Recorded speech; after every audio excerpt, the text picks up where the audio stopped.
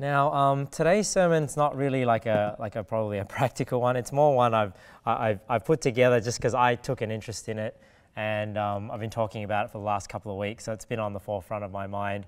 Um, yeah. So it, the the topic the topic is on the sons of God in Genesis six. So um, I want to explain to you because I know I've alluded to it um, in a couple of sermons throughout the year and a half this church has been um, around that um, I, I, personally believe that the sons of God in Genesis 6 are angels. Um, that's my position right now. So I wanted to, because because I've alluded to it, I just wanted to explain to you um, why I take that position and um, explain to you why I don't think it's a, there's a problem with the position. It doesn't actually um, cause any doctrinal issues. Uh, if you can understand all the verses correctly, and I'll, I'll explain to you why I decided to switch because I, I, feel it's a topic that can swing both ways and I don't think it's anything really to be dogmatic about. Like if somebody doesn't believe the sons of God are angels, it doesn't really make a difference. Um, but I'll explain to you my reasoning and, and why I think there's a strong case to believe that they are angels and that it doesn't really um, have any doctrinal issues with the Word of God. So let's just go to the passage first of all in Genesis 6 and just read it. So in, in Genesis 6,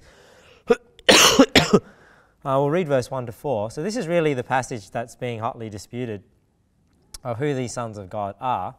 Um, in Genesis 6, and it came to pass when men began to multiply on the face of the earth, and daughters were born unto them, that the sons of God saw the daughters of men, that they were fair, and they took them wives of all which they chose.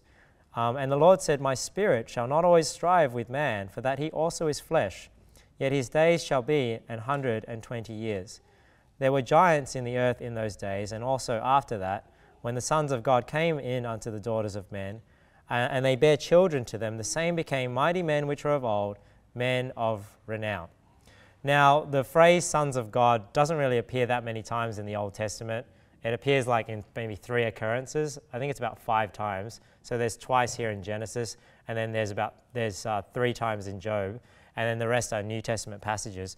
So we'll just go to all these passages, and I'll explain to you if you take the view that they're angels, how you would uh, take that passage, and if you believe that they are just believers, how you would take that passage. So if you took the view that sons of God are only believers, and that's the only way you can be a son of God, then you would read this passage and you'd say, well, you know, it was believing men. It was men that called upon the name of the Lord, and they were the sons of God. And they say they saw the daughters of men, the unsaved, the, the daughters of unsaved people, and then took them as their wives. And that was why the world became ungodly because that was happening, and there was violence in the world and things like that. And that's how you'd explain uh, who the sons of God are there. Now, when it comes to the other view of the sons of God being uh, either believers or angels. So it's not just sons of God are always angels, because you know sons of God in the New Testament, I believe, are believers. Um, there are some uh, positions that I would say, uh, like I don't agree with, because when you think about the sons of God being angels, the, you know, people start talking about the Nephilim and the and the giants and things like that, and they'll say like, well, how, you know, and I'll go into this into the sermon, but you know, how, how, how do you have like a hybrid, half angel, half human? So I, I, don't take these positions, and I don't think that you need to in order to believe the sons of God are angels. But one thing is they'll say that, uh, that these angels, and they, they, bre- they bred with women, and that was where the giants came from and they have this view that you know giants were actually half angel half human and then you know there was a there was a remnant of them and that's who goliath was just that sort of view um, I don't believe that's the case because uh, in verse 4 it says here, there were giants in the earth in those days and also after that. So before and after this event, when the sons of God came in unto the daughters of men, and they bare children unto them. So I read that as the, there were already giants in the earth in those days when this event happened. So the giants can't be a result uh, of the offspring of this event. Um, so I don't think the giants were the result of the offspring. But if they were, I'm not sure if that really matters. Um, I still believe that giants are just men. I don't think that they are a, a hybrid between some sort of angelic nature and human nature. Um, but it's possible that uh, if, if you take the position that giants are the offspring, then uh, it could be because, you know, if an angel became a person, then you know obviously they can they, they, they might have the ability to you know manipulate matter or manipulate genetics you know and that's why their offspring are maybe taller or stronger or have um, superhuman um, attributes. Now some people might say well if it was angels uh, taking wives of uh, uh, the daughters of men uh, as opposed to men, uh, saved men taking the daughters of unsaved uh, men, you know, why was God so angry with man? Meaning, like, you know, if it was the angels that sinned, why then did God later on flood the world because of the because of a sin that the angels did? Now, I don't think uh, the sons of God coming into the daughters of men is related to the fact that man was also sinful as well. So man was sinful as well. There was violence filling the earth, and man had dominion over the earth. So this is why you know God was angry with man um, even though the angels had done something wrong as well, God was angry with man, and, and that was the reason for the flood. So these are two separate things that are happening here. There's one thing that happens, and then he also talks about man also being flesh, and then man becoming evil. Um, and it was man, man was the reason why the world was flooded, not because of this event in uh, Genesis 6, verses 1 to 4. So um, somebody might ask, you know, wh- why would it why would it be a sin then if if angels took wives? You know, like it's not like they were fornicating; they actually married these women. So why would it be a sin? Well, we read in Ezra that you know just because you marry somebody, that doesn't mean that that that relationship is necessarily sanctified by God. If they're strange wives, we saw in Ezra, um, or um, you know even being unequally yoked. You know, I, I don't know whether you know angels is an equal yoke with, with humans. But they but see what what's interesting about this verse though, it doesn't actually say that they married wives. Um, it just says that they took them wives. And something interesting about that, if you read in Judges 19, the concubine of the uh, I can't remember, it was the man from Judah. It actually refers to the concubine as his wife. Although we would say a concubine is not a legitimate a legitimate wife, it's not a legitimate marriage. So you could take the view, well, maybe they didn't actually marry them. Maybe we're assuming that they married these women, um, but they just took them as wives, and maybe they were just concubines. Maybe the problem is they took multiple wives as opposed to just um, taking a single wife. So, you know, you can theorize there. I mean, you can kind of make it fit. Um, so I don't really think it's a problem. Um, so just because they were married doesn't mean it was necessarily moral to do. Um, and you can read later in Ezra 10. I won't turn to all these passages, but I'll have my notes all online so you can go check it out yourself just so I can get through this sermon because I don't really want to preach uh, two weeks on it. So Ezra, Ezra 10, um, not every marriage is right. You can go to 2 Corinthians 6, you know, don't be unequally yoked together with unbelievers. Um, uh, yeah, so were they married or were the, the wives just concubines? Now, I'm sort of jumping around here. So just going back to the issue where it says, people will say, well, it was the angels that sinned. Why is God angry with man? Um, but if you think about this, you know, Satan deceived Eve into taking the fruit of the tree, and then man also sinned by eating of the fruit. So somebody could say, well, wasn't it Satan's fault that he even got Eve deceived, and then that was the reason why man sinned? But you see, even though Satan was doing something wrong, he was sinning, I mean, God still held man accountable for the sin that he did.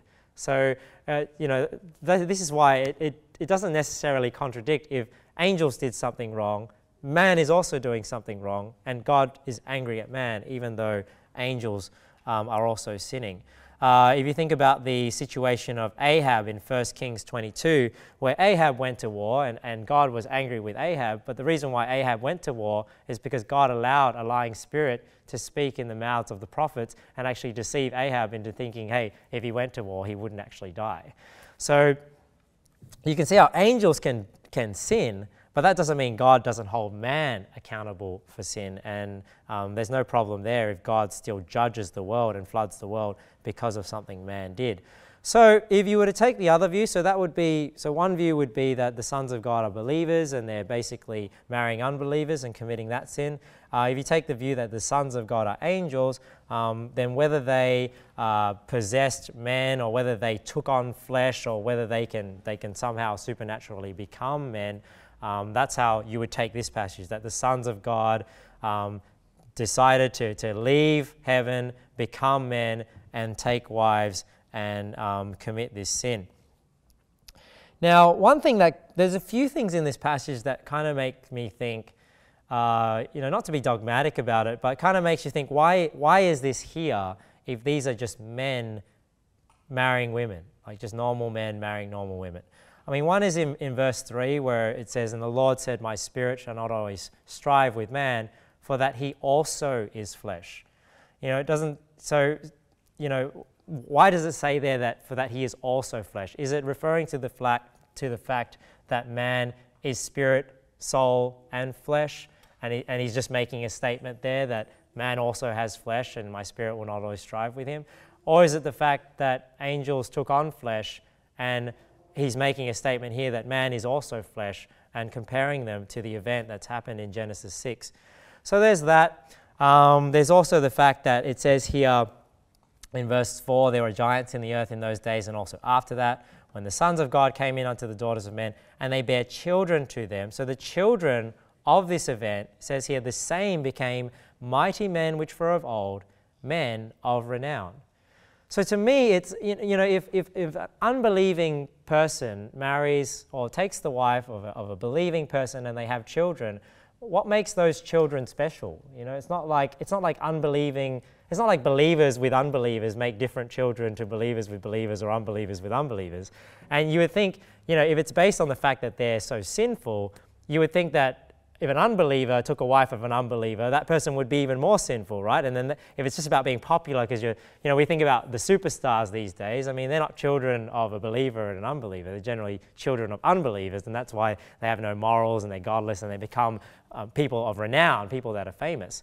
But these people became mighty men, so they were obviously stronger than your normal person. Um, and they were, because of that, possibly, they became famous. So is it because, you know, if an angel takes on flesh, you know, they can decide how they're going to manifest themselves, and maybe they make themselves stronger and taller and more handsome and things like that. And that's why their offspring may also have those attributes um, because they are able to tweak the DNA. I mean, if you think about what happens in the occult, like where, you know, angels can do things that are supernatural. They can make people shapeshift. They can stop people from bleeding. They can make people heal. Um, you know, when you, when you read about these sorts of supernatural things that are happening in this world. So it doesn't surprise me that, you know, an angel can become flesh and manipulate matter and, and, and, and do these things and become uh, a man in every sense of the word and um, have the seed of a man and give birth to children by taking wives. So, some thoughts there that say, you know, it's almost like if you, I know I'm not just staying on this passage, but this is the first passage we're going to, but it's almost like if you were to just read that passage, it's almost like it just doesn't sit well with me, first of all, that that, that, that it, that is explained well enough by the sons of God just being believers. Because there's a few things going on in that passage, and it's like, oh, why is that? Why are all those things there? But, anyways, that's the first passage. So, that passage can be understood, I believe, both ways. I haven't shown to you yet why I think sons of God can be angels. But if you just take the assumption sons of God can be angels, you can see that this event uh, is what that's describing. If it's believers, then it also fits. So let's go to the second occurrence in the Bible of the sons of God. So Job 1. says here, Now there was a day when the sons of God came to present themselves before the Lord, and Satan came also among them. And we, we see this exchange between the Lord and Satan where he says, You know, have you seen my servant Job? And then God gives him permission to go and tempt Job, and Job goes through all that uh, thing. So the second occurrence is in, in Job uh, chapter 2 where the, the event happens again. You know, Job's done all these things. Satan's done all these things to Job, and then he comes back, and then he says, you know, skin for skin, you know, and then he gives him the boils and, and all that. So this is uh, the third occurrence of the sons of God in the Old Testament. Again, there was a day when the sons of God came to present themselves before the Lord, and Satan came also among them to present himself before the Lord. So if you take the position that sons of God are only believers, and that's the only way you can become a son, son of God, then you would interpret this passage and say, well, it was the believers in heaven, like the Old Testament saints who were saved, they're in heaven. They came to present themselves before the Lord, and Satan also came along with them. You know, so you'd say Satan was sort of just randomly there also, and then there was that, that exchange before, um, before God. if you believe sons of God's sons of God can be angels, then you would say that the angels came and presented themselves before the Lord, and that's why Satan was also amongst them also. So you can see how it fits both ways. And to me, um, you know, from my point of view, to me it makes more sense that the sons of God are angels in this instance because if, if believers are presenting themselves before the Lord, why is Satan even coming along to begin with? You know, it's almost like he's just randomly there while this event is happening.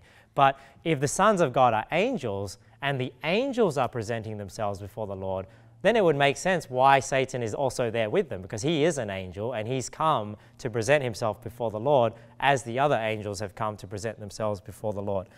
Um, so yeah, I, I, think you know just just thinking about it you know, my own opinion. But, you know, obviously we have biases. So somebody will say, well, it doesn't matter if it makes more sense. If sons of God are, are believers, then those are believers. And I, and I get that. You know, if, if sons of God are believers, then you would interpret it that way and say the believers came and then Satan was also among them. Why? We don't know, but he was. You know, and that's why that event happened. Um, so that's the second two occurrence. Now the last occurrence is in Job 38. And this is really the one that probably gets disputed the most, saying um, sons of God are angels. So we see here that, you know, you know, the book of Job, how Job is tempted at the beginning, and he, then there's this back and forth between his friends for, I can't remember how many chapters, um, about like 30 something chapters. So finally, in Job 38, God reveals himself to Job and starts asking Job questions. Uh, and it's almost like um, God starts from the creation of the world. He says here in verse 4 Where wast thou when I laid the foundations of the earth? Declare if thou hast understanding. Who hath laid the measures thereof, if thou knowest, or who hath stretched the line upon it? Whereupon are the foundations fastened? Foundations are fastened. So you can see God's, you know, in, in sort of poetic language, he's talking about the creation of the world. And he's, you know, obviously, you know, does the world have foundations and things like this? But, you know, he's, he's almost like he's using the analogy of, of making a building and saying this is how he's made the earth. And when he was making this earth, you know, where, where was Job? You know, he's basically saying, what, what do you know? Like, I was there making all these things. I'm going to tell you uh, how it is. You're not going to tell me how it is. Um, or who has stretched the line upon? Whereof are the foundations thereof fastened? Or who laid or who laid the cornerstone thereof, when the morning stars sang together, and all the sons of God shouted for joy.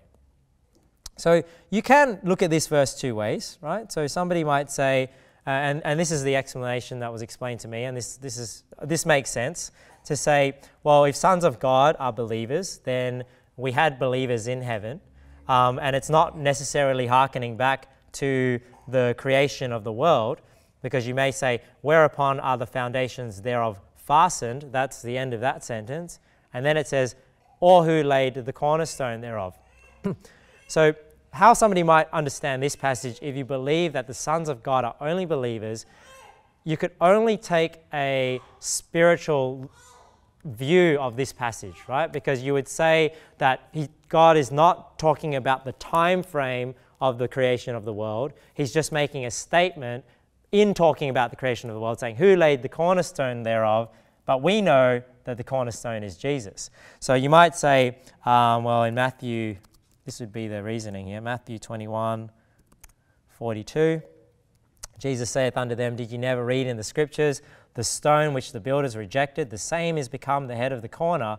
This is the Lord's doing, and it is marvelous in our eyes. So Jesus was rejected of the Jews. He became the, the cornerstone, the head of the corner, and this is the day that we will rejoice in. So uh, let's just go to Luke 20. See? So and beheld them and said, What is this then that is written? The stone which the builders rejected, the same is become the head of the corner. So this is referring to a passage in Psalm 118, uh, verse 22. Uh, just read here. The stone which the builders refused is become the headstone of the corner.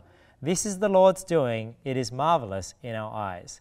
This is the day which the Lord hath made, we will rejoice and be glad in it. So, going back, so just it's interesting, you know, Psalm 118, verse 24, people always use this passage to talk about, you know, birthdays and weddings and special events. They'll say, This is the day that the Lord made. We will rejoice and be glad in it. And, and that's fine. I, I don't think it's necessarily wrong to use it in that, in that way. But now you can see that the context of that verse, this is the day that the Lord made, we will rejoice and be glad in it, is actually talking about the day that Jesus Christ was rejected and became the head of the corner. That, that is the day that we rejoice and um, will be glad in it.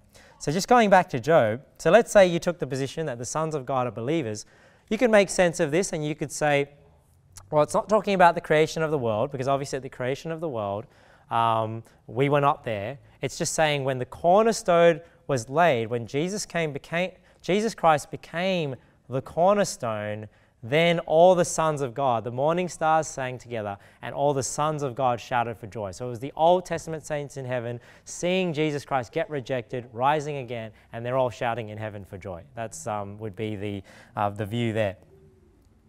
Now, if you take the view that the sons of God are angels, then you're not restricted to only taking the prophetic meaning.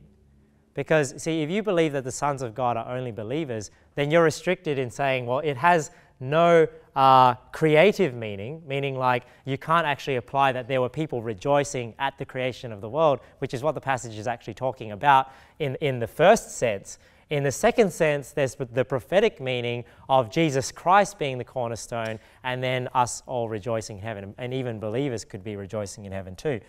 So if you take the view that the sons of God are angels, it actually allows for both views. You could say that, well, Jesus is talking, well, God here talking to Job is talking about the creation of the world. There are no people around at this time, right? Because man was not created yet when the foundations of the earth were laid. And it's saying here that, but, but the angels were there because the angels are, are, are, ministering spirits. They can exist outside of time. They were there when the, the world was created and they shouted for joy. And then also spiritually, when Jesus died and rose again, he was rejected. They also um, shouted for joy. Just like there is joy in the presence of God and in the presence of the angels over one sinner that repenteth. So you, you can take this, when, if you take the view that the sons of God are angels, I feel again that it fits this passage better because you're, you're not having to ignore the actual context of the passage, which is creation. Like God is talking about creation, and at this time, morning stars sang, and sons of God shouted for joy. In that instance, sons of God cannot be believers because believers don't exist yet. Um, and it also allows for angels rejoicing when Jesus Christ was rejected and, and, um, um, and, and rising again. And in fact, you know, at that time, it could be both angels and believers shouting, shouting for joy because if we are all the sons of God, both angels and um, believers. now, I won't spend too much time on the New Testament passages. So, obviously, in the New Testament, um, I will go to just one because I don't want you to feel like I'm ignoring it.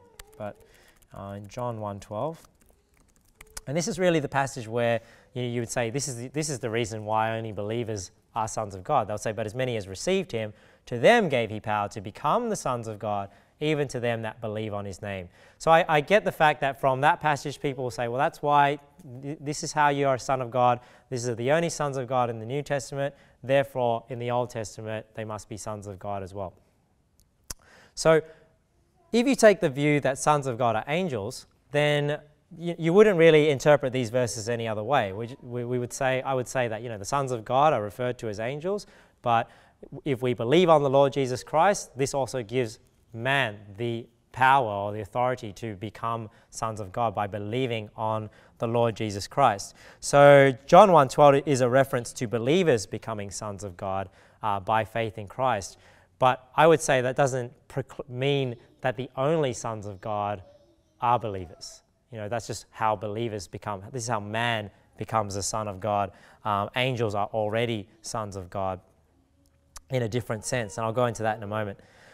So some other there's a there's a reference in uh, Romans 8 where it says those that are led by the Spirit of God they are the sons of God. In Philippians 2 you've got um, the sons of God. We're the sons of God in the midst of a crooked and perverse nation. Um, and then you've got 1 John 3 where it says, Beloved, now are we the sons of God? And it, um, talks about what we will be like, we'll see him as he is. So, when it comes to the New Testament passages, whether you believe sons of God in the Old Testament are angels or believers, that's not going to change your view on the New Testament passages. The New Testament passages, we all accept, hey, these are men that you know believe on Jesus Christ, you become a son of God.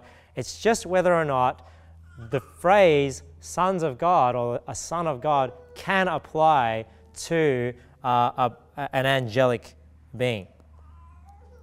Now let's start going into the objections. So there's three, I think there's three objections really that are the strongest objections, and I'll, I'll give you my take on those. But one is, and I sort of alluded to when I went to Genesis 6, is saying that um, they took wives. And that would be the first objection. Somebody would say, like, well, how does an angel take a wife when an angel doesn't have flesh. Like an angel is a ministering spirit. Jesus said, You know, I'm not a spirit, you know, a spirit hath not flesh and bone as you see me to have.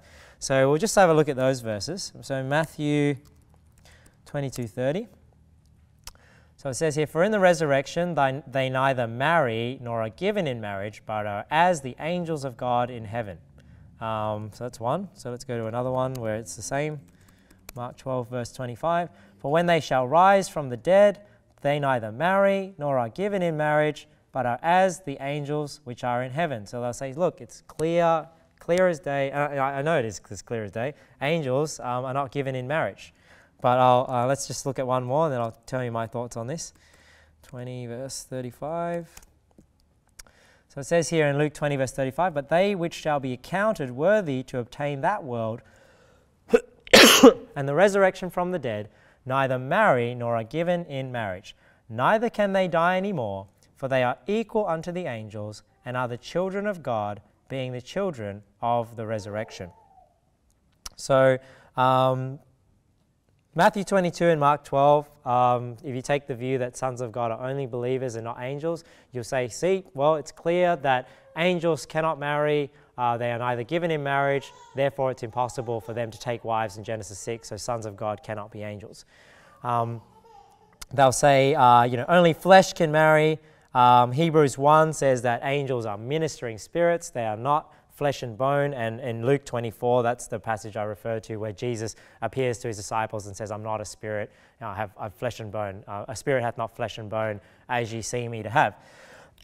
so, how would you take these verses if you take the view that the sons of God in the Old Testament are angels. Well, one thing you'll notice, and, and I, I sort of didn't stress that point because I wanted um, to make that point now, but when you see in uh, Matthew uh, 22 and Mark 12 here, you'll notice where these marriages are not taking place. It says, For when they shall rise from the dead, they neither marry nor are given in marriage, but are as the angels in heaven, which are in heaven. So you could easily take the view that, yeah, you know, well, angels aren't married or given in marriage in heaven, but if an angel was to take on flesh and leave heaven, there's no reason why they can't get married. Um, and we'll, we'll get to Jude and Peter later, but if you remember Jude, it talks about the angels which kept not their first estate, but left their own habitation. So these angels in Genesis 6, from the view that the sons of God are angels, are no longer in heaven.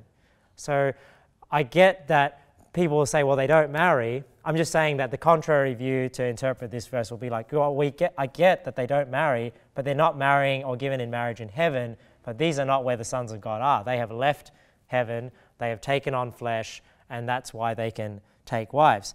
Um, it's interesting how Luke 20 35 is phrased as well. It says here, um, but they which shall be accounted worthy to obtain that world and the resurrection from the dead neither marry nor are given in marriage, neither can they die any more, for they are equal unto the angels. So it's almost like if you read in Hebrews, talks about man being made a little lower than the angels. So it's like when we die and we resurrected, we become equal unto the angels. So now we're the same. And it says here, and are the children of God, being the children of the resurrection. Now, I'm not so dogmatic about just saying, ha, that verse proves it, because somebody might just say, well, it's not saying that they're equal unto the angels in the sense that angels are children of God and now believers have become children of God. But you could take it that way. I mean, you could read this this way and say, well, they're equal unto the angels. Angels are sons of God, angels are children of God, therefore That's why believers are, are children of God, both in spirit and flesh in the resurrection. Um, but somebody might just say, well, it's not saying that angels are children of God. It's just saying they're equal unto the angels, and a separate point that they're also children of God. Angels aren't children of God. It's just that believers are equal unto the angels, and believers are children of God, being the children of the resurrection. So you, you could take that both, both ways. Um, now let's go to Genesis uh, 19. Now, the reason why I don't have a problem with um, angels leaving heaven and taking on flesh, uh, and if they take on flesh, why would they not have all the attributes of a human? Um, because we have examples in the Bible of angels becoming men. You know, we have angels, we have examples of angels possessing men, we have examples of angels coming to men and, and eating with them. Uh, Genesis 19, when uh, the angels uh, come down to Sodom and Gomorrah and Lot invites them in, said, pressed upon them greatly um, in order to not stay on the street. And they turned in unto him, and they entered into his house, and he made them a feast, and did bake unleavened bread, and they did eat. So these angels are not, you know, if, if a spirit has not flesh and bone, why, why do they eat then? Because then if you don't have, you know, flesh is something that, uh, hunger is something of the flesh. You know, that's why when we fast, uh, we're trying to subdue the flesh. It's, it's something to um, humble yourself in the flesh um, so that you'll, you'll be in the spirit. So uh, if they take on flesh, they are able to eat. Um, and, and, they have obviously a digestive system in order to do that. So uh, I already re referred to angels manipulating matter. Like if angels can do things that are supernatural, um, why is it not possible that they can create an empty shell and possess it? So maybe they're not necessarily just turning themselves into flesh somehow. Maybe they're not uh, necessarily possessing a willing vessel and using that person to commit these deeds. Um, if they can manipulate matter, I mean, Satan is manipulating weather, you know, and he's manipulating, I mean, he's giving, he's giving uh, Job boils, right? So he's able to manipulate flesh and even give somebody some sort of disease um, and, and manipulate his flesh to have that condition. So why is it not possible for angels to manipulate flesh, even create something, create a, create a body that they can then possess and use. So we have examples of angels becoming men, being able to eat. Um, if they're capable of digestion, would it be crazy to think when they become human that they have other human biological systems, such as reproductive organs? Um, look at Hebrews 13, Hebrews 13, verse 2 says here, be not forgetful to entertain strangers. So telling us, eh, you know, Paul here exhorting us to be uh, hospitable. So be not forgetful to entertain strangers, for thereby some have entertained angels unawares. So he's saying like, you know, you've, you've got these people that you thought were missionaries, you thought were evangelists, and they've come to your house, you've taken them in, you've fed them, you've, you know, and helped them along the way, and you didn't even know that these were angels that were staying with you. Now, you know, maybe somebody might say, well, they didn't stay very long, so maybe they just ate and they left. But if these angels were staying with you for a couple of days, a couple of weeks, wouldn't you start to be a bit suspect if they never used the bathroom? You know, they never, they never did like things that, of, that humans did. So you would think that, you know, maybe these angels that had bodies, they still you know, had digestive systems, maybe they used the bathroom and things like that. So I'm just making the point there. I don't think it's totally crazy to think that an angel can have a reproductive system if it can, if it can eat um, and do these things. So the question is in Genesis 6, did, did the daughters of men actually know that these were angels? Or do we only know that they're angels because we're reading it from God's point of view? That the sons of God came into the daughters of men. Maybe they just thought that these were some really hunky, cool guys and hooked up with them, um, but didn't realize that they were actually angels that were sinning. Um, but God did, and God tells us about it later in the Bible. So, you know, we can only I'm not, I'm not being dogmatic on all these things. I'm just trying to show you that I don't think it's like crazy for somebody to believe that angels can do this. Like people think, oh, you know, this sci-fi, this magic, you know, you're going into all this fantasy stuff. But, you know, people that believe that, I mean, they believe Noah's Ark is fantasy. They believe the, the splitting of the Red Sea is fantasy. I mean, we believe in the supernatural. I mean, we believe that demons and devils are able to possess people. They're able to do supernatural things. Satan is able to control weather patterns and send a great wind to destroy uh, uh, Job's uh, family's house. Uh, so, you know, whenever we see supernatural activity, we, don't, we shouldn't always think that it's an act of God because it can be an act of a devil, or it can be an act of Satan as well. Um, so my point is, you know, we can only theorize about the mechanics of the supernatural beings. You know, I'm not trying to say this is how it happened. You know, I'm not saying this is what they did. They possessed people. I'm just saying, well, I don't know what they did, but they did something. And they, they, they in Genesis 6, we, we're given some of the details of what might have happened. Um, so, but it doesn't remove the possibility. You know, many supernatural things happen in the Bible that we believe and are possible without understanding exactly the science and the mechanics behind how it works.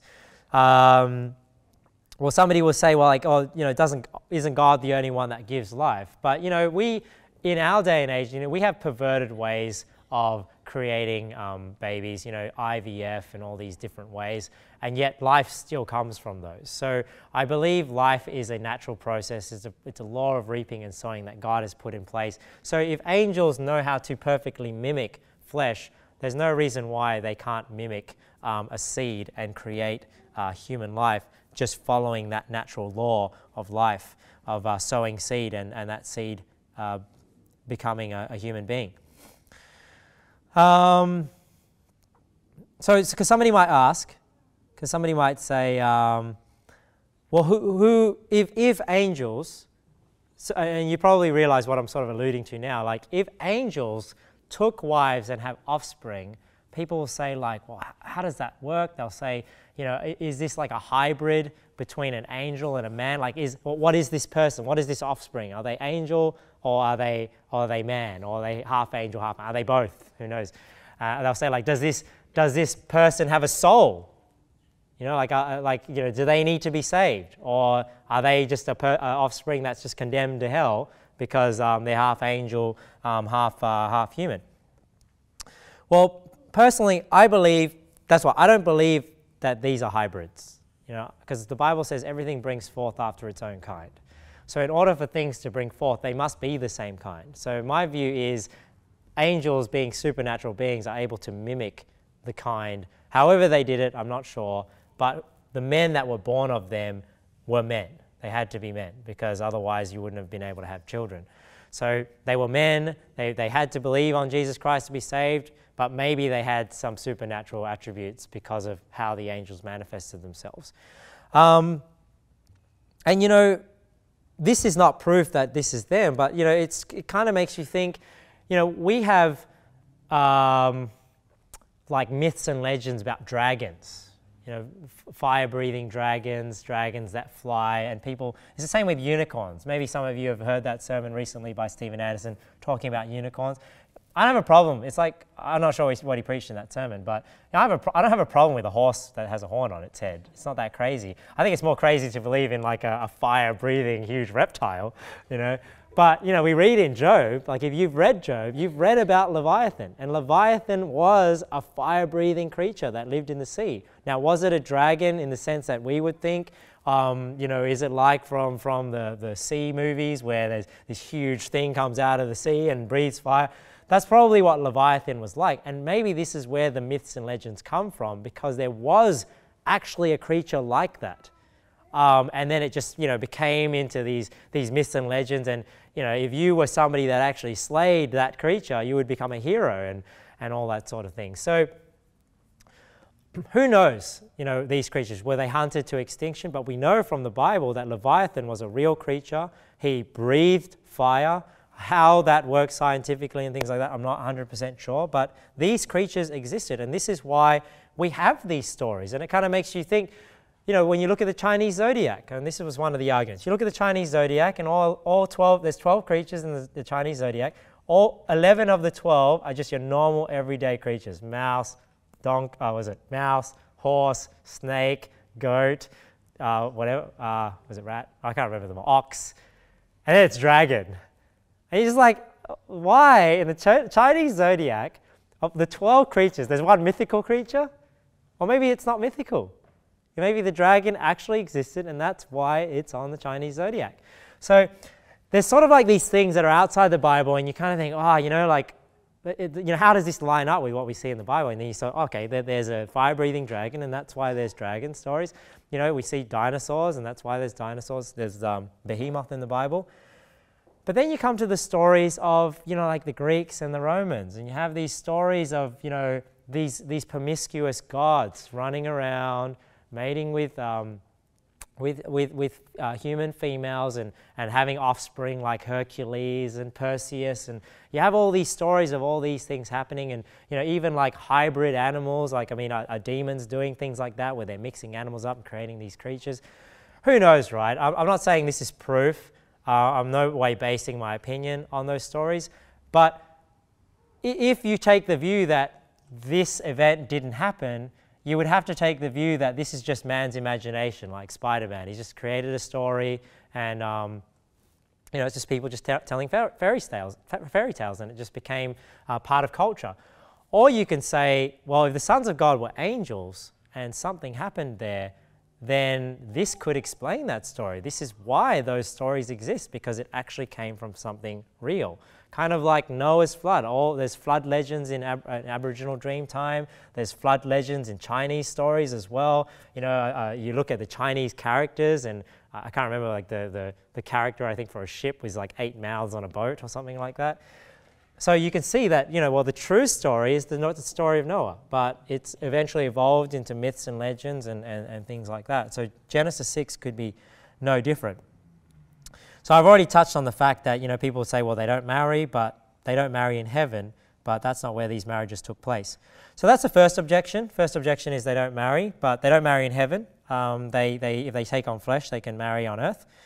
Uh, the second objection would be well, this is not really an objection. This was more like um, a dispute because this is really where I springboard from the fact that uh, an angel could be a son of God. Now, if you read Luke 3, Luke 3 has a genealogy um, all the way to Joseph and Mary, all the way up to God.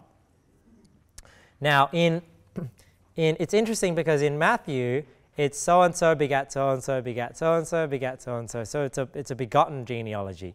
Um, that, that, that's the phrase there. Now, in Luke 3, though, it's so and so was the son of so and so, was the son of so and so, was the son of so and so, all the way up until God. But what's interesting, because it goes all the way up to God, it goes from Enos, which was the son of Enos, which was the son of Seth, which was the son of Adam, which was the son of God. So, my thought there is so if, let's say you were to take the view that the sons of God are only believers.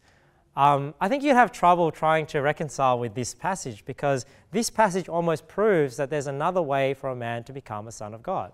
It is if he's directly created by God. Because Adam was directly created by God and he was a son of God. If somebody says the only way you can become a son of God is if you believe on the Lord Jesus Christ, what they would have to do with this verse then is just say, yeah, yeah, it's a physical genealogy, but because Adam didn't have a father, they're just putting his spiritual genealogy in there and just saying, well, Adam was probably born again, and that's why he's the Son of God. Now, it's hard for me to accept that view just because, you know, like, why would a physical genealogy all of a sudden jump to a spiritual genealogy? It's like the son of the son of the son of. I mean, we're following a physical line here, right? And then you get to Adam. To me, it would make more sense that because he's created by God, that was the physical creation of Adam, um, his Adam's flesh, not his spirit. Because if Adam was a son of God just being in the spirit, he hasn't received his resurrected body yet. So again, you'd have to jump from flesh, flesh, flesh, flesh, spirit, as opposed to flesh, flesh, flesh, flesh. His flesh was created um, by God, and that's why he's a son of God. So, um, you know, but you know, Adam and Eve probably were born again. I'm not saying Adam wasn't born again. I mean, you know, God clothed them with skins in Genesis 3:21. So, you know, were Adam and Eve saved? They probably were. But to, to say that this genealogy is referring to his spiritual salvation, I think is a bit of a stretch. I think it's a lot easier for me to accept that this verse is saying that he was created by God and therefore he's the Son of God. Because um, why would a physical ge- genealogy over jump to a spiritual one? Um, so I believe it's referring to Adam's physical creation, not his spiritual procreation, which is when we believe on Christ and we are born again. So what this does prove, though, that now what, what, we dis, what would be the dispute is what makes Adam a son of God? What, what are the attributes of Adam that made him a son of God? Um, and I'm having a discussion with somebody that I know, and that's really where this argument is hinging on. It's, it's, is, is Adam a son of God because he was just a purely created by God and, and a creature of God? Is, is, um, is a son of God. I don't think that's the sound view, just because somebody will say, well, what about animals? You know, animals were created by God, but they're not sons of God. So I, I, know, I know that's the case, and I was sort of thinking, like, well, what would make man and angels different from the animals? I was thinking, is it because they're not, you know they're not moral beings? You know, maybe they don't have a soul, but then angels don't have a soul as well. Um, but it's possible. The answer is that Adam is is a son of God because he was made in the image of God. And, and this is really where the dispute is hinging on now, because what does it mean to be made in the image of God? So my view would be, well, the reason why Adam is a son of God is because he was physically created by God, but not just, because, not just that he was physically created by God, but he was made in the image of God. So like we beget sons in our image, um, we beget sons. We can't create sons. Like we, we don't have the power to actually create something in our own image and it be our son. Whereas God does have that power. So he's created Adam in his own image. And if you think about angels, oh, or if you take the view, which I do, if you take the view that being made in something's image, in, made in God's image, is you are a man, then you can see how angels could also be referred to as sons of God because they are beings that are also men. And this is why women, if you didn't know this, women are not actually made in the image of God. Women are made are, are, made women. They're not made in the image of God because they're not men. Men are made. Adam was made in the image of God, um, but Eve was not. So let's just go to this passage in Genesis 5. so Adam, I believe, is a created son because he was made in the image of God, so he's created, and that's what distinguishes him from the animals. But this is what also distinguishes angels and men from animals. So it's interesting that in Hebrews 1, when he talks about the creation of man, he says he made them a little lower than the angels. Almost like there's some similarity between men and angels, but then men just happen to be made a little lower. And then Jesus was a little lower than the angels. He became a little lower than the angels, but he was made so much greater than the angels because obviously he's God. Um, but he took on uh, the nature of man for the suffering of death. He, he, was, he uh, took on the nature that was a little lower. Um, so, what does it mean to, be, mean to be made in God's image? See, I believe it's referring to Adam's uh, gender and appearance. It doesn't necessarily, um, uh, the fact that he's a man. And this is why women are not made in the image of God. It doesn't necessarily mean that he's a, a duplicate copy. So when you, when you beget a son in your own image, you're not making a carbon copy. It just means that you're similar to your father. You're, you're like your father in look, but you're not identical. So I'm not saying that if you were to see a picture of Adam and Jesus, they're like look identical. But I'm saying that because Jesus is a man, and when he revealed himself, um, and, and he's the image of the invisible God, he was a man. And man was created in his likeness, and that's why man looks the way he does. Woman was not created in the image of God, and that's why woman looks different to man. Look in here in Genesis 5. This is the book of the generations of Adam in the day that God created man. In the likeness of God made he him. So he didn't make them in his likeness, he made him in his likeness. Male and female created he them, and blessed them, and called their name Adam in the day when they were created. You can even go back to, um, is it Genesis? Um, I'll just show you again. Uh, I think it's in verse, might be in chapter 1. I don't have this in my notes. I'm just, I just wanted to show you this. Um,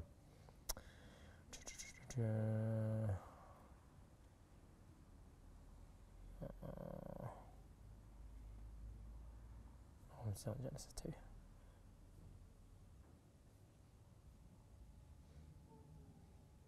Oh, here we go. So it says here, verse 26, it says, Let God said, Let us man, make man in our own image, and he'll have dominion over the fish of the sea and fowl of the earth. Verse 27. So God created man in his own image.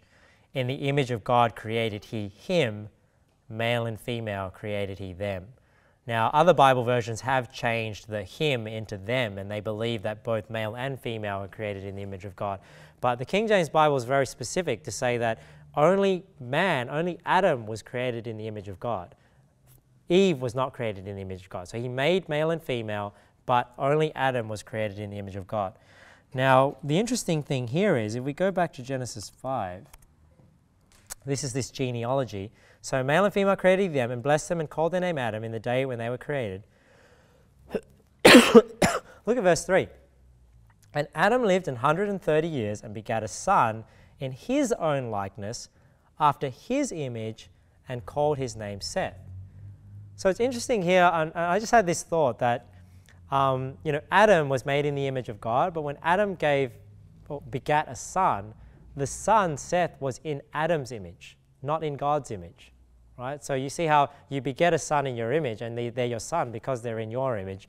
So we are in the image of you know, either our father or our mother, whether we're a, whether we're a boy or a girl.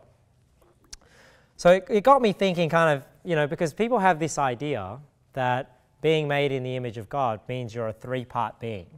You know, they'll say, you know, man is in the image of God, and they'll say, you know, man and women, we're body, soul, and spirit, God's Father, Son, Holy Ghost. We're three-part being. That's what the image is talking about, and saying, God, let us you know, they'll say, let us make man in our image. And the our is referring to the Trinity, and this is why we're a Trinity. Whereas I don't think necessarily that's the case. I don't think you can prove that that's what it means to be made in God's image. And I think it's stronger to take the view that, well, an image is something that you see, you know, like an image and a likeness. I mean, if you're, you know, how, how is your spirit made like God's if, if the spirit you can't see? But then, um, you know, man is made in God's image because he looks like a man and God is a man. Um, Jesus it, really is the image of the invisible God. So Jesus said to, to, to um, I think it was Thomas, saying, you know, you've seen me, if you've seen me, you've seen the Father. So when we look at Jesus, when we look at the man Jesus, the, the, the, visit, the image of God, the express image of his person, we are seeing Father, Son, and Holy Spirit. That's the same image for all three. So I don't have a problem with saying, well, let us make a man in our image because these are three persons talking, but there's the one image, which is the man. Um, Adam was created in the image of God, so he's a man. Woman was not, because woman and man are both three part beings, but woman is not made in the image of God. So I think the distinguishing factor is the fact that they are men Angels are also men. Every time we see angels in the Bible, they're always men. So that's why I believe if they're created, just like Adam was created in the image of God, they are sons of God also, but it's just God decided to do the same thing with man. So, anyways, the, the, the thing I'm thinking here is just, you know, it just makes me wonder when we say things like, oh, you know, don't kill a baby in the womb because they're valuable, they're made in the image of God. I agree with you that, that children are valuable. You know, and, and the reason why abortion is wrong is because abortion is murder. But murder is not wrong because you're killing something that's made in the image of God, because I don't necessarily believe that children, we are all made in the image of God. See, I personally believe from what we're reading here is um, only Adam was made in the image of God. And then Adam begat a son in his likeness, and then Seth begat a son in his likeness, and then my dad begat a son in his likeness, and I'm in my dad's likeness. I'm not made, I'm not, my flesh is not made in the image of God. My flesh is made in the image of my Father. So I don't know whether it's accurate to just, you know, I don't know whether it's actually doctrinally correct to just say all humans are made in the image of God physically, when really you can only prove that Adam is made in the image of God. Um, now, this is where it gets a little bit interesting because in 1 Peter um, 1 3, it says, Blessed be the God and Father of our Lord Jesus Christ, which according to his abundant mercy hath begotten us again unto a lively hope by the resurrection of Jesus Christ from the dead. So, we, when we believe on Jesus Christ, we are born of the Spirit, right? We are begotten again, but He's begotten us again unto a lively hope. So, whilst our flesh is not a son of God, it's not made in the image of God, it's made in the image of our Father, when we believe on the Lord Jesus Christ, we are born of the Spirit. So our spirit is now a son of God because we are born of God and we are born in that image.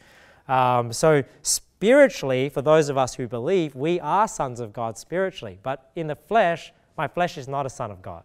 Right? This flesh is, a, is descended from Adam and in the likeness of my Father, but my spirit is in the likeness of God because I'm born directly of the Spirit. Now, at the resurrection, um, when our bodies have been changed into the image of Jesus Christ and we, are, we will be like him, for we shall see him as he is, then we will be both flesh and spirit, a son of God. Um, Romans 6, for we've, we've been planted together in the likeness of his death, we shall be also in the likeness of his resurrection. Um, 1 John 3 it says, Beloved, now are we the sons of God.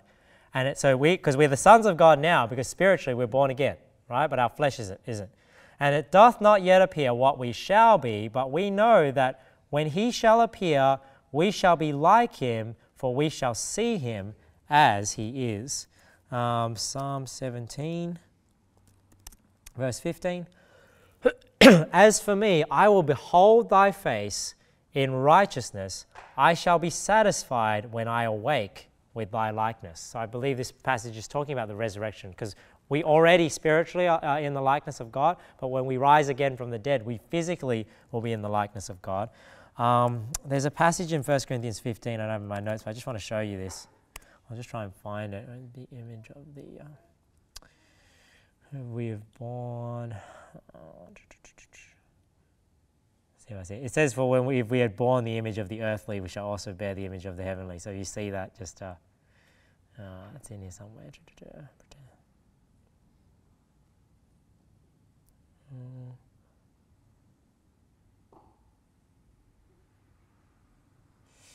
Ah, it is, it is sown a natural body, it raised a spiritual body. Uh, oh, here we go, verse 49.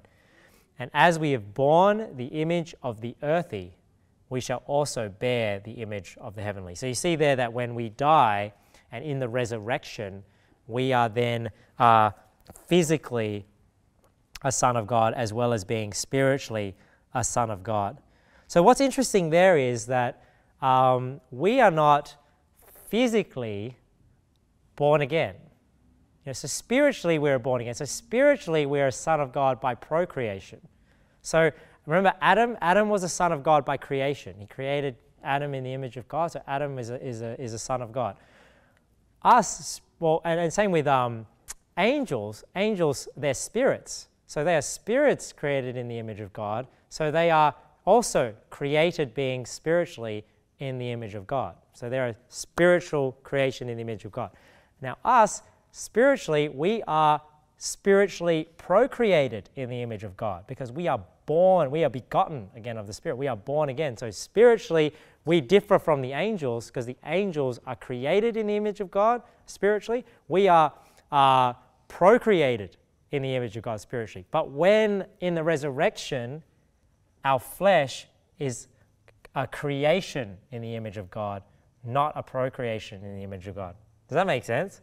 So it's kind of like Adam was a create, created physically. We are going to be created physically, but we are procreated spiritually to be sons of God spiritually.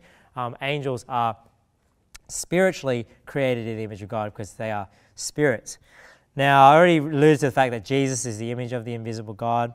Um, so it's interesting that man began in the image of God, Adam, and for those who are saved, they also will eventually be, co- be conformed into that image. So Romans 8:29, for whom he did foreknow, he also did predestinate to be conformed to the image of his Son, that he might be the firstborn among many brethren. So eventually, that's why we will be conformed into his image. We are not begotten into his image. We are begotten spiritually, but physically, we will have that flesh in a moment of a twinkling of an eye created um, to be exactly like Jesus Christ uh, in his likeness. Now, th- this is an interesting point because this is what makes Jesus different. Because Jesus is God, right? So, in, in, in the spirit, he, he is God in the flesh. But the reason why Jesus is the only begotten Son of God, you know, for God so loved the world that he gave his only begotten Son, that whosoever believeth in him should not perish but have everlasting life. So this is why it's, it's, it takes away from the specialness of who Jesus is to say just his one and his, his one and only son. Because number one, he's not his one and only son, you know, because he, God has sons of God. Adam was a son of God. We're sons of God. Jesus is not the only son of God. But the reason why he's the only begotten son of God, because you'll say, well, we're begotten sons, right? Because spiritually we're begotten. But what makes Jesus different is he's the only one that was physically begotten of God. Because remember, Adam was a son of God because he was created. We're sons of God spiritually procreated, but we'll be changed physically. But Jesus is the only one that was physically procreated of God, and that's why he's the only begotten Son of God. Because remember, the, the Holy Ghost overshadowed Mary and that's what conceived her, and that's why Jesus Christ is the only begotten Son of God. So I don't know if you've ever wondered about that distinction, like why is Jesus, why is he the only begotten Son? What makes that special? I think that's why it makes it special because um, he's the only one that's physically procreated by the Holy Ghost. Um, and I talked about why animals are not sons of God, because they're not created in God's image. So um, people say that, oh, you know, like, you know, just think any created being is a son of God. No, I think to, to make the position make sense, Adam is a son of God because he is created in the image of God, and that's why he's the son of God. Um, so, but if, if the term sons of God can refer to both a procreated son and a created son, then there's no contradiction. So that's really like what, to me, that's really kind of like what, to me, unlocks the ability to think that, well, maybe sons of God are angels. And I've got some other reasons as well I'm about to go through. But if you allow the fact that the term sons of God is not only limited to believers, and we know it's not because Adam in Luke 3, I don't believe it's referring to his spiritual procreation. It's, I believe it's talking about his creation. Then why can't other created beings also be referred to as sons of God. And it's sort of like that point that Kevin was making when he talked about the threefold nature of God and how people kind of, you know, they think there's this paradox and, you know, he'll say, well, they talk about the kingdom and they'll say, oh, the kingdom's invisible, the kingdom's physical. But maybe it's because the kingdom of heaven re- refers to both. You know, and people may be arguing like, well, the sons of God can't be angels because, you know, the sons of God are only believers. but maybe that's a restriction that doesn't need to be there because if the sons of God can also refer to beings created in the image of God and therefore angels can also rightly be, re- be referred to as sons of God, then we don't have any contradiction there. Then, um, then, then, then it's fine.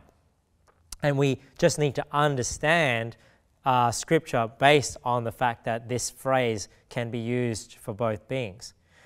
Now, the last objection is here in um, Hebrews 1 uh, verse 4.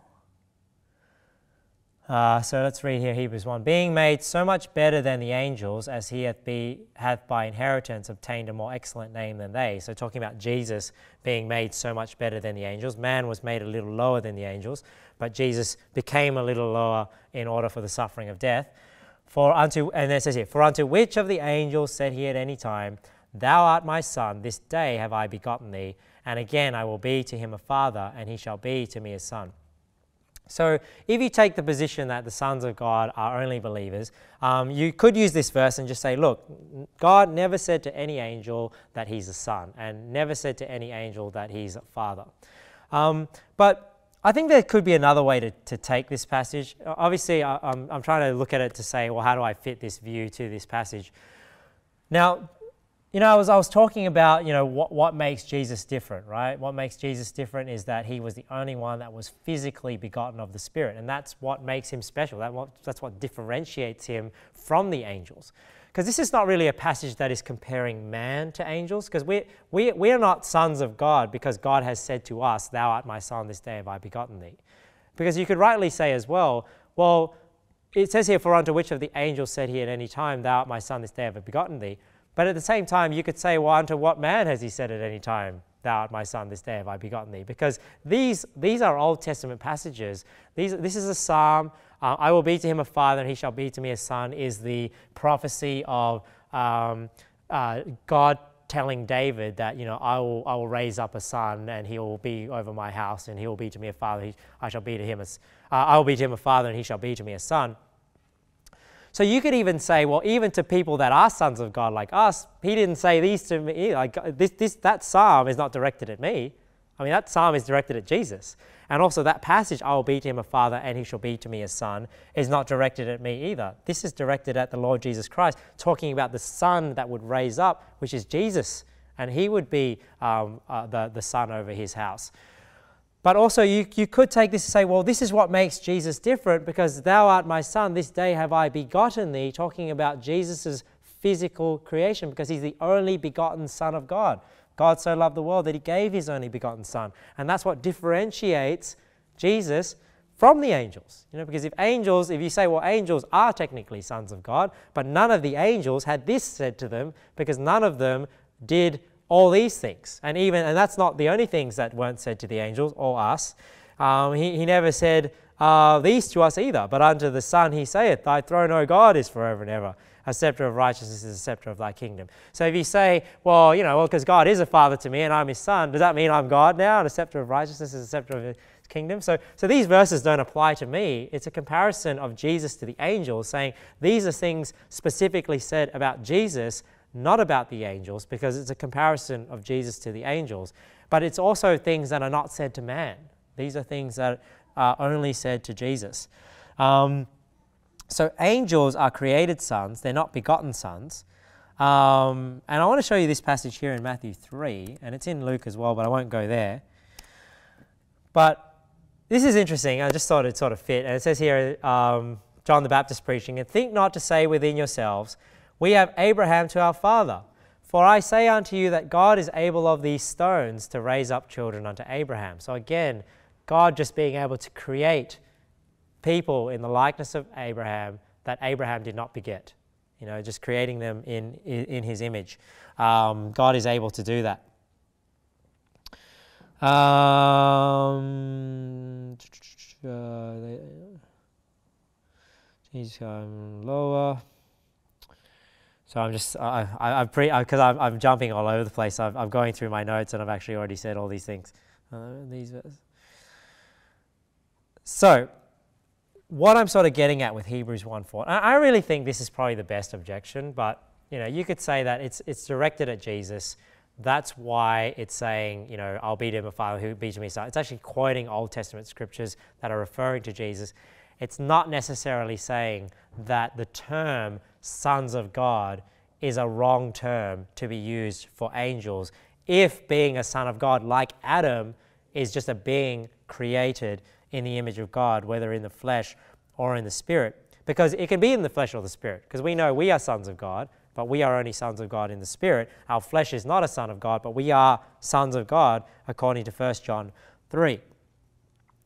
Now, one objection somebody might have Another one is they'll say that, well, the problem people have with uh, angels being sons of God, there's a few problems. They'll say, like, well, if, if, um, if uh, God, if, if, if um, angels are sons of God, and God can send angels to hell, what's stopping him from sending us to hell? Like, you know, because we're sons of God. Does that mean we can lose our salvation? That, that'll be the objection.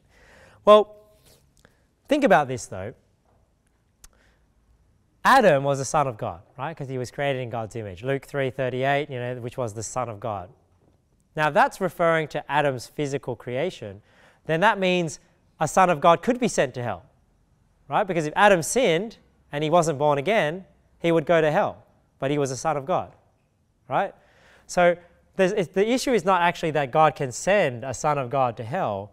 The question is, well, why, as we, as sons of God, will never go to hell? Once we believe on the Lord Jesus Christ? And the answer there is in John 3, verse 9, because it says here, Whosoever is born of God.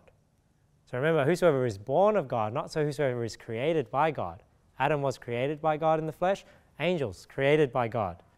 But we, spiritually, born of God.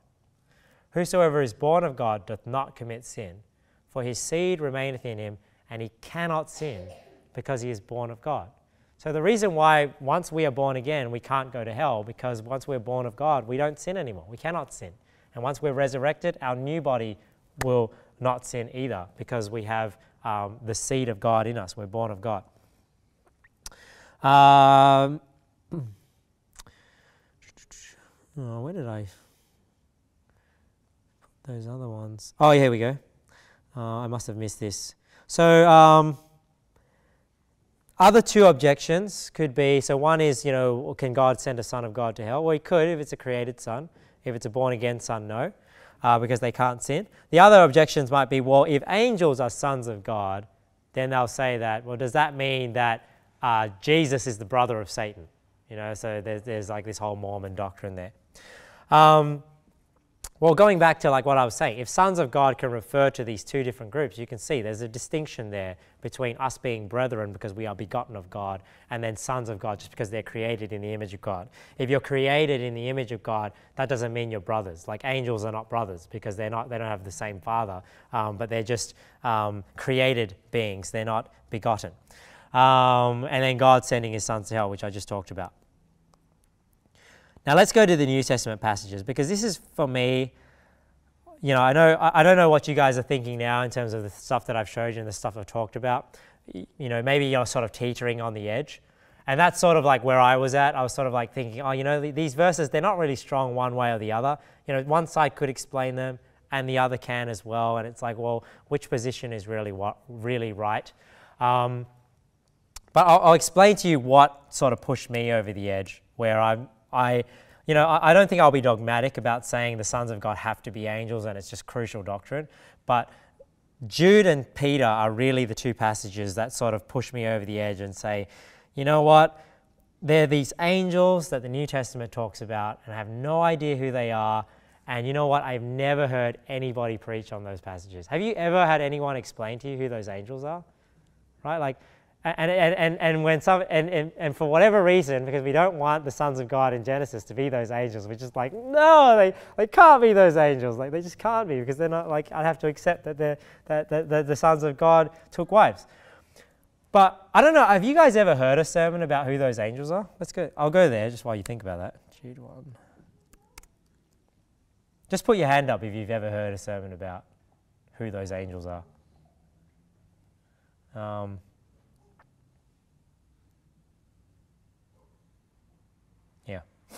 Jude 1. I will therefore put you in remembrance, though you once knew this, how that the Lord, having saved the people out of the land of Egypt, afterward destroyed them that believed not. So, oh, well, let's just put it in context, because I mean, I won't read verse 4, but it's talking about false prophets, right? Saying that people creep in and they'll bring in damnable heresies and um, denying our Lord and things like that. So he says here, I will therefore put you in remembrance. He destroyed the people out of the land of Egypt, afterward destroyed them that believed not. And the angels, which kept not their first estate, but left their own habitation, he hath reserved in everlasting chains under darkness unto the judgment of the great day. Even as Sodom and Gomorrah and the cities about them in like manner, giving themselves over to fornication, are going after strange flesh, and going after strange flesh, are set forth for an example, suffering the vengeance of eternal fire. Likewise, also these filthy dreamers. So he's saying, hey, these false prophets that creep in and, and turn the grace of God into lasciviousness, just like the angels were sent to hell, just like Sodom and Gomorrah was destroyed, suffering the vengeance of eternal fire, he says, likewise also these filthy dreamers defile the flesh, despise dominion, and speak evil of dignity. So he's saying, like these people, um, defiled the flesh like Sodom and Gomorrah, he's saying, I'm going to make like how what I did to the angels and what I did to Sodom and Gomorrah. That's the example of what I'm going to do to these false prophets. Um, so every time I've heard Jude preach or Second Peter 2 preach, like even if it's by verse by verse, they seem to like just skip over verse 6 because they don't really know who they are. You know, so they'll talk about these angels and they'll just say the angels were this example, but they won't tell you who the angels were because God forbid they're the sons of God in Genesis 6. Um, so they don't know who they are. So the two, the-, two theories that I've heard that I really don't buy into is one is that it's talking about Satan and his angels. And they'll say like, you know, it's Satan, the fallen angels, it's talking about them, um, and, and, and, and the demons that are talk, or going around. Um, but the reason why I don't believe that is because it says here that he's reserved, in, he's reserved them in everlasting chains unto darkness, unto the judgment of the, of the great day. So these these angels that sinned, they're not roaming the earth causing havoc. They are already in hell. They are in chains, they are locked up until the judgment of the great day. But Satan and his demons are not. Satan, like in Job, we saw he's going about, uh, you know, up and down throughout earth, and uh, he, he walks about as a roaring lion, seeking whom he may devour. So this is not talking about Satan and his angels. And Satan and his angels are cast out of heaven um, in the future. This has not happened yet. You know, it's, it's the, before the, the tribulation. He's cast out because there's a war in heaven. Um, and, and, and that's what happens. That's when he draws the third part of heaven and all that happens. But you see here, these angels, it says that they kept not their first estate, they left their own habitation. Does that sound like they're being cast out of heaven? No, they're leaving on their own accord. So to me, this can't be talking about Satan and his angels. It just doesn't fit the narrative. And it says here they kept not their first estate. It's talking about an event in the past being an example, but Satan and being cast out of heaven is, is something that's happening in the future. So is it, you know, you could say, oh yeah, well, uh, God talks about things in the, like in the past, like Jesus being bruised and despised, and yet it was something in the future. You could take that view. But to me, it's, it's a little bit of a stretch when there's passages and examples from the Old Testament, um, and yet uh, Jude 1 6 is talking about an event in the future where they have, are not uh, reserved in, in everlasting chains under darkness unto the judgment of the great day. So I don't think it can be referring to Satan's future rebellion using past tense verbs. Um, I also don't think it's referring to men. The other theory I've heard is that angels are not really angels, that they're men and they were just messengers that sinned um, and, and left God. But the reason why I don't think that they're men, I mean, number one, because they, they use the word angels. So, you know, if, if it was prophets or false prophets in the Old Testament, why wouldn't it say, and the prophets which kept not their first estate, but left their own habitation. The other thing you'd have to say is, well, they left their own habitation. That would have to be figurative, because as a man, you can't leave the earth. You know, the only way you can leave is if you die. But if you think about angels leaving where they actually live, they left heaven and took on human flesh, then it makes sense that they, these are angels that kept not their first estate. What is an estate? An estate is not actually a location. I think the leaving their own habitation is talking about the change in location. The estate is talking about, if you think about in the Bible where people say he regarded the low estate of his handmaiden, it's your status or your principality or your authority. And that's like kind of what the angels did. I mean, they have certain powers, right? And all those sorts of things. If they left heaven and became men, um, you could see how they didn't keep their first estate. They left their own habitation, they left where they normally resided, and they, they sinned, and God has punished them, making them an example. now, what makes me think that these are the angels in Genesis 6, and this is what um, I found really hard to reconcile, is, you know, we see here that the context of Jude is fornication. And, you know, it's, it's side by side with um, Sodom and Gomorrah. Um, and we see here in Genesis 6, the sons of God, that was the problem. The problem is it was, a, it was a sexual thing. They took wives and they did that thing. So it sort of fits this false prophets, you know, uh, doing the wrong thing and, and, and, and, and, and defiling the flesh and, and going after strange flesh. Um, the other thing for me as well is it's, it's the only event mentioned in Jude and 2 Peter where you can't point to a passage in the Old Testament. And this is what really, really sort of like sort of struck with me, and I was sort of thinking like, oh man, it's just, it's just really hard for me to accept that God is giving us Jude and Second Peter and saying, I destroyed the people that came out of the land of Egypt. That, that is an event that you can go to in the Old Testament. You can go to Exodus and see where that all happened and what happened. You know, and then he's saying like, like Sodom and Gomorrah, that's something in Genesis 19. You can go back and say that that's why they're an example. He's pointing back to Old Testament scriptures and saying this event is an example that God is trying to use. Even later on, right, when it talks about these, these, uh, these false prophets in the Old Testament that did do certain things, he says, look, they do the same thing as Cain. They do the same thing as Balaam, as Korah when, when they withstood Moses. So these are like specific events in the Old Testament that they are pointing back to, saying they are an example of what God is going to do to these false prophets it's so it's hard for me to accept that there are all these specific events and examples that are in the Old Testament, and yet the angels, that event, is just something that's nowhere to be found. We have no idea who they are, we don't know what they did, and yet they are alongside these examples. Do you see what I mean? Like, it's really hard for me to accept. Whereas if I accept, well, Luke 3, it allows for the sons of God, angels to be sons of God, then it makes sense. It's just saying, well, he's going back to, to to Genesis 6. He's going back to Genesis 19. He's going back to the time of Egypt. He's going back to those stories. And they're all just stories from the Old Testament. That's who those angels are. Um, how does it serve as an example if we have no idea what the angels did? You know, if, if only this mention is the example. We, we don't even know. Like, what did they do? They left their own habitation and did those things. But what, what did they actually sin? I mean, because angels come to and fro between earth and heaven all the time. So that's not the sin. So what's, what example, how, how, can you say they're, they're an example when we have no idea? It's, it's hard for me to accept that. Um, now, there, now th this I think is an is, um, is a, a, interesting thing to note. So I, I don't think there's any example in the New Testament of an earthly man being referred to as an angel. But um, this is interesting because um, my friend brought this up to me and I thought this is a good point. In Revelation 22, it says here, And I, John, saw these things and heard them. And when I'd heard and seen, I fell down to worship before the feet of the angel which showed me these things. Um, then saith he unto me, See thou do it not. For I am thy fellow servant and of thy brethren the prophets and of them which keep the sayings of this book. Worship God. So he brought this up to me. I thought this was a pretty good point, saying, oh, you know, well, he's trying to make the point that angels are men and they're not humans, but I find that hard to believe for the reasons I've given you. But to me as well, this is not a man on earth being referred to as an angel.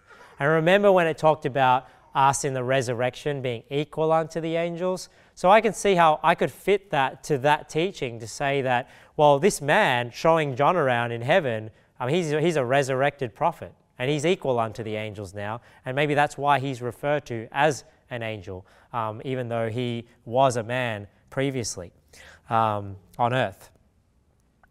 Now, uh, the, the parallel passage to Jude is in 2 Peter 2, verse 4.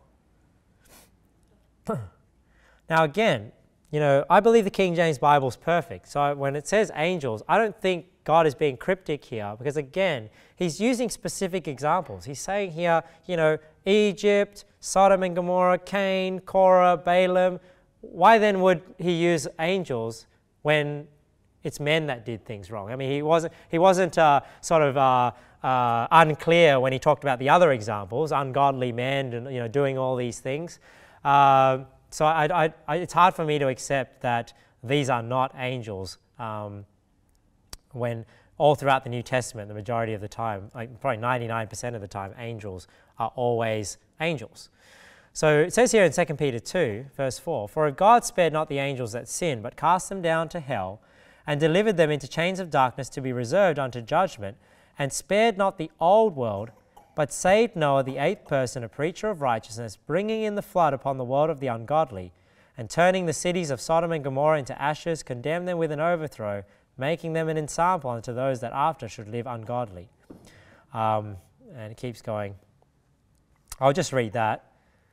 But again, I mean, 2 Peter 2, it's almost like a timeline. It's saying, like, you know, that God spared not the angels that sin, and then it talks about Noah, and then it talks about Sodom and Gomorrah. I mean, that would fit the Old Testament timeline of the sons of God in Genesis 6, and then you've got the flood of the ungodly, and then you've got Sodom and Gomorrah. So to me, again, it's hard for me to accept that we have no idea what verse 4 is, who it's talking about, when it's alongside Noah and Sodom and Gomorrah in the Old Testament. But if I just accept that the sons of God are angels, then to me, like there's no issue there. It seems to all fit um, the narrative. And that's what he's referring to. He's saying that event, as well as Noah, as well as um, Sodom and Gomorrah. Uh, okay, I'm almost done. There's a few other passages that are interesting that I find most people don't have an answer to. Um, but if you take the view that angels are the sons of God, then it can make sense. When you read 1 Corinthians 11, it talks about women covering their head and they're not, you know, the man's the glory of God um, and the woman's the glory of the man and all that sort of thing. And then you get to this passage here in uh, verse 10, 1 Corinthians 11, verse 10. It seems like random. You know, it says here, For this cause ought the woman to have power on her head because of the angels. So it talks about why woman has authority over her and why men don't, when men are in charge. Um, and then it just throws this verse out here saying, For this cause ought the woman to have power on her head because of the angels. Now, what, what, what do angels have any, like, what, to me, it's kind of like, what is that doing there? Like, it's just this random passage that says, like, angels are the reason why women need to be under authority. Whereas if you know angels did things in the past, you'd say, okay, because angels became men and they deceived women and, and took them as wives. Um, but if it was just about women being deceived, why would she need power on her head only because of the angels? Wouldn't she need power on her head because of people like Joyce Meyers, you know, like false prophet, Jezebels? And, and you might have like, you know, why not like have power on your head because of other men? You know, so why specifically angels? Unless angels did something in the past. So I really never heard an explanation to this passage just because it's, it's kind of random if you don't accept that the sons of God are angels. But if you believe the sons of God are angels, you can say, well, we have that example, and that's why women need power on their head. Um, the last one is, and this is from 2 Peter 3. Um, people often talk about these spirits in prison and often wonder who they are. And maybe if you accept the fact that the sons of God are angels, it, it's clear who these spirits are. Because people will say, well, are these spirits the Old Testament saints? Are they the spirits in Hades? You know, they, they, they say about the dispensationalism and Abraham's bosom theory, uh, which I don't believe. But um, it says here in 1 Peter 4.18, For Christ also hath once suffered for sins, the just for the unjust, that he might bring us to God, being put to death in, in the flesh, but quickened by the Spirit. By which, so by what? By the fact that his, his death and resurrection, by which also he went and preached unto the spirits in prison, which sometime were disobedient when once the long suffering of God waited in the days of Noah, while the ark was a preparing, wherein few, that is, eight souls, were saved by water. So there are a few theories on who these spirits are. You know, obviously the dispensational view and Abraham's bosom view is these are Old Testament saints in Hades, and that's who Jesus went. He went to the cold part of hell and took them out of Hades when he was resurrected, which I don't believe. There's no cold part of hell. Some people might say, um, I've heard it preached that the spirits in prison are just unsaved people, and Christ preached to them because, you know, when we preach the word of God, we're preaching the word of Christ. So even though Noah was preaching to the people back then, to the spirits in prison, it was as if Jesus was preaching to them through the Spirit because Jesus is the word of God. It's his word. When you preach the word of God, you're preaching the word of Jesus, and, and therefore that's how it fits.